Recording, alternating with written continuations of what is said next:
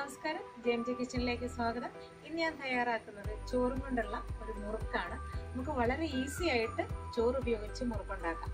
മിച്ചം വരുന്ന ചോറും കൊണ്ടൊക്കെ പിള്ളേർക്കൊക്കെ വളരെ ഇഷ്ടമുള്ള മുറുക്ക് തയ്യാറാക്കുന്നത് എങ്ങനെയാണെന്ന് നോക്കാം.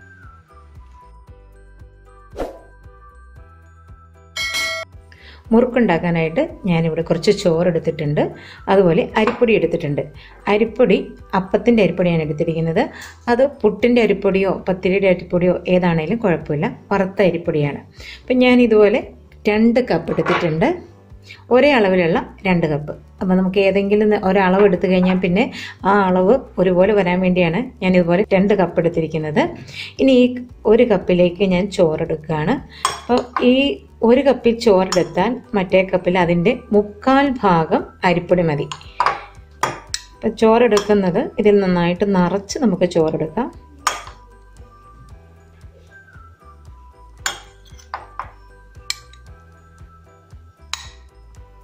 അപ്പം ഞാനിതുപോലെ നിറച്ച് ഒരു കപ്പ് ചോറെടുത്തിട്ടുണ്ട്. ഈ ഒരു കപ്പ് ചോറിന് അതേ അളവിലുള്ള കപ്പിന് മുക്കാൽ കപ്പ് അരിപ്പൊടി മതി.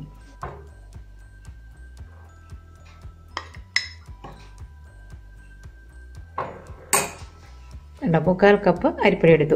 അപ്പം നമ്മൾ അളവെടുക്കുന്ന എങ്ങനെയാണ്? ഒരു കപ്പ് ചോറിന് മുക്കാൽ കപ്പ് അരിപ്പൊടി. ഈ ചോറ് ആദ്യമേ നമുക്കൊന്ന് മിക്സിയിലിട്ട് അരച്ചെടുക്കാം. മിക്സിയുടെ ജാറിലേക്ക് നമുക്ക് ഈ ചോറ് ഇട്ട് കൊടുക്കാം. ഇനി ഒട്ടും വെള്ളം ചേർക്കാതെയാണ് നമ്മൾ ഈ ചോറ് അരച്ചെടുക്കുന്നത്. ചോറിന് എന്തായാലും ഒരു ചെറിയ നനവുണ്ട്. അപ്പോൾ നമുക്ക് ആ നനവിൽ ഈ ചോറ് അരച്ചെടുക്കാം. ആദ്യമേ നമുക്ക് ചോറ് തന്നെ ഒന്ന് അരച്ചെടുക്കാം അതിനുശേഷം ഈ അരിപ്പൊടിയും കൂടി ഇട്ട് ഒന്നും കൂടെ അരയ്ക്കാം. അപ്പം ഞാൻ ഈ ചോറ് അരച്ചെടുത്തിട്ടുണ്ട്. ഇനി ഇതിലേക്ക് നമുക്ക് ഈ അരിപ്പൊടിയും കൂടെ ഇട്ട് കൊടുക്കുക. ഇനി ഒന്നും കൂടെ നമുക്കിത് അരച്ചെടുക്കാം. ഇപ്പം ഞാൻ അരിപ്പൊടിയും കൂടെ ചേർത്ത് ഒട്ടും വെള്ളം ചേർക്കാതെ അരച്ചെടുത്തതാണ്. ഇതുണ്ടോ? ഇതൊരു ഇതുപോലെ നല്ല നനവായിട്ട് കിട്ടിയിട്ടുണ്ട്. അത്യാവശ്യത്തിന് നനവുണ്ട്. ഇത് കൂടുതൽ വേണ്ട. ഇത്രയും നനവാണെങ്കിൽ സേവനാഴിയിൽ കൂടി നമ്മൾ കടത്തി വിടുമ്പോൾ മുറിഞ്ഞു പോകാതെ മുറുക്ക് നല്ല ഷേപ്പിൽ കിട്ടുകയുള്ളൂ. ഇനി നമുക്കിതൊരു പ്ലേറ്റിലോട്ട് മാറ്റാം. ഇതുപോലെ നമുക്ക് ബാക്കി ചോറും കൂടെ അരച്ചെടുക്കാം. അപ്പം ഞാൻ അളവ് പറഞ്ഞതേ ഉള്ളൂ ഈ ഒരു കപ്പിന് മുക്കാൽ കപ്പ് പൊടിയെ അപ്പം നമുക്ക് ഒന്നിച്ച് അരച്ചെടുക്കാൻ ബുദ്ധിമുട്ടാണെങ്കിൽ ഒട്ടും വെള്ളം ചേർക്കാതെ അരയ്ക്കുന്നതാണ്. അല്പം കുറേശ്ശെ നമ്മൾ അരച്ചെടുത്താലും മതി. ഇപ്പോൾ ഒന്നിച്ച് ഒരു കപ്പ് ഒരേ സമയം അരയ്ക്കണമെന്നില്ല. ഓരോരുത്തരുടെയും മിക്സിയുടെ ജാറിനെ ഡിപ്പെൻഡാണ് അതുകൊണ്ട് കുറേശ്ശെ അരച്ചെടുത്താലും മതി. അര കപ്പ് എടുത്തിട്ട് അരച്ചാലും മതി. എന്നാലും ഒരു കപ്പിന് മുക്കാൽ കപ്പാണ് അരിപ്പൊടി എടുക്കേണ്ടത്. ഇത് കംപ്ലീറ്റ് ഞാൻ അരച്ചെടുത്തിട്ടുണ്ട്. ഇനി ഇതിലേക്ക് വേണ്ട നമുക്ക് കുറച്ച് ഉപ്പും കൂടെ ചേർത്ത് കൊടുക്കാം. ഇതിനാവശ്യത്തിനുള്ള ഉപ്പ് ജീരകം പൊടിച്ചത് കാൽ ടീസ്പൂൺ മുളക് പൊടി അര ടീസ്പൂൺ കൊടുക്കാം. നമുക്ക് വേണമെങ്കിൽ കൊടുത്താൽ മതി. ഒരു ടേസ്റ്റിന് കുറച്ച് എരിവൊക്കെ ഉള്ളതാണ് നല്ലത്. അതുകൊണ്ട് ഞാൻ അര ടീസ്പൂൺ മുളക് പൊടിയും കൂടെ കൊടുക്കുന്നുണ്ട്. ഒരു ടീസ്പൂൺ കറുത്ത എള്ളം കൂടെ കൊടുക്കാം. കറുത്ത എള്ള ഒക്കെ ഇത് ഓപ്ഷണലാണ് കറുത്ത എള്ളൊന്നും വേണമെന്ന് നിർബന്ധമില്ല. പക്ഷെ അത് എള്ളൊക്കെ ഉണ്ടെങ്കിൽ മുറുക്ക് കാണാനും കഴിക്കാനും ഒരു നല്ല ടേസ്റ്റുള്ളൂ കായം രണ്ട് പിഞ്ച് കായം കൂടി ചേർത്ത് കൊടുക്കുക. ഇനി ഇതെല്ലാം കൂടെ നമുക്ക് നന്നായിട്ടൊന്ന് മിക്സ് ചെയ്തെടുക്കാം.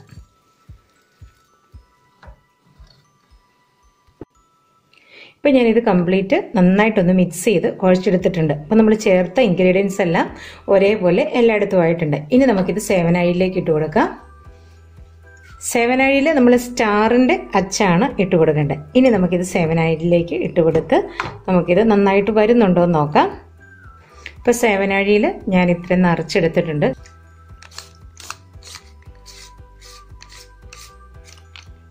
ഇനി നമ്മുടെ മിക്സ് കറക്റ്റ് ആണോ എന്നറിയാൻ നമുക്കൊന്ന് ഈ പാത്രത്തിലേക്ക് തന്നെ നോക്കാം.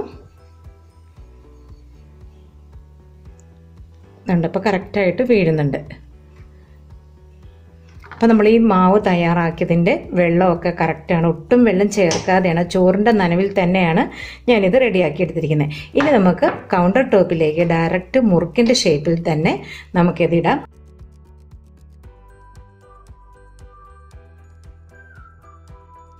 ഇതിങ്ങനെ സൂക്ഷിച്ച് നമ്മളിങ്ങനെ നോക്കി കറക്റ്റ് ചുറ്റിച്ചെടുത്താൽ മതി. പിന്നെ നമ്മൾ വേറെ പിന്നെ നേരെ ഇട്ടിട്ട് പിന്നെ ചുറ്റിക്കേണ്ട ആവശ്യമില്ല അപ്പോൾ നല്ല ഈ ചോറ് ചേർത്താകുമ്പോൾ നല്ല ഷേപ്പിൽ തന്നെ നമുക്ക് ചുറ്റിച്ചെടുക്കാം. അധികം വലിപ്പം വേണ്ട.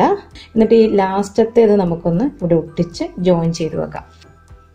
ഇതുപോലെ നമുക്ക് ബാക്കി മുറുക്കും കൂടെ ചുറ്റിച്ചെടുത്ത് വെക്കാം.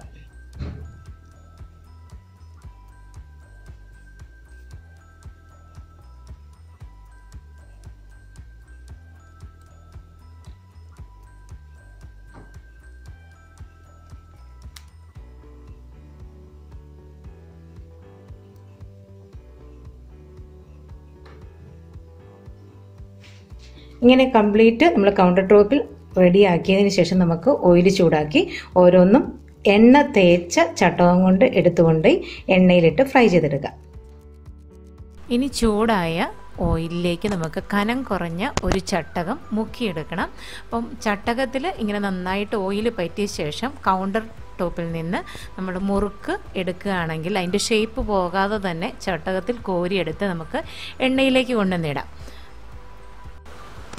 നമുക്ക് ഓരോന്നോരോന്ന് ചട്ടകം കൊണ്ട് കോരിയെടുത്ത് എണ്ണയിലേക്കിടാം മീഡിയം ഫ്ലെയിമിലിട്ട് വേണം നമ്മളിത് ഫ്രൈ ചെയ്തെടുക്കാനായിട്ട്. ഓയിലിന്റെ ടെമ്പറേച്ചർ എപ്പോഴും കൺട്രോൾ ചെയ്ത് തന്നെ വേണം വെക്കാൻ. അല്ലെങ്കിൽ ചൂട് കുറഞ്ഞു പോയി കഴിഞ്ഞാൽ ഇത് കല്ലിച്ചു പോകും. ചൂട് കൂടിക്കഴിഞ്ഞാൽ പെട്ടെന്ന് കരിഞ്ഞും പോകും. തിരിച്ചും മറിച്ചും ഇട്ട് നമ്മൾ പല പ്രാവശ്യം ഇട്ട് ഇത് ഫ്രൈ ചെയ്തെടുക്കണം. അങ്ങനെ എടുത്താലേ ഉള്ളു നന്നായിട്ട് ക്രിസ്പി ആയിട്ട് കിട്ടുകയുള്ളൂ. നമ്മൾ ഓരോന്നോരോന്ന് ഇട്ട് കൊടുത്തത് കൊണ്ട് ഇടുന്ന ക്രമം അനുസരിച്ച് ഇത് പെട്ടെന്ന് ഫ്രൈ ആകും. അപ്പോൾ ആദ്യം ഇട്ട് കൊടുത്തത് എടുക്കാറായിട്ടുണ്ട്. ഇനി നമുക്ക് ഫ്രൈ ആയത് ഓരോന്ന് ഇത് എണ്ണയിൽ നിന്ന് കോരിയെടുക്കാം. നമ്മുടെ മുറുക്ക് റെഡി ആയിട്ടുണ്ട്. രണ്ട് കപ്പ് ചോറും ഒന്നര കപ്പ് അരിപ്പൊടിയും കൊണ്ടാണ് ഞാൻ ഇത്രയും ഉണ്ടാക്കിയത്. എനിക്ക് ഇരുപത്തിമൂന്ന് മുറുക്കുണ്ടാക്കാൻ കിട്ടി ഈ വലുപ്പമുള്ള. നമുക്കിതൊന്ന് ഒടിച്ച് നോക്കാം. ഇതുണ്ടോ നല്ല നന്നായിട്ട് ഒടിഞ്ഞു കിട്ടുന്നുണ്ട്. എന്നാൽ ഒത്തിരി ഹാർഡല്ല താനും. നമുക്കൊന്ന് എത്ര ഈസി ആയിട്ട് ഇതുപോലെ മുറുക്കുണ്ടാക്കാം. രണ്ട് കപ്പ് ചോറും കൊണ്ടാണ് ഞാൻ ഇത്രയും ഉണ്ടാക്കിയത്.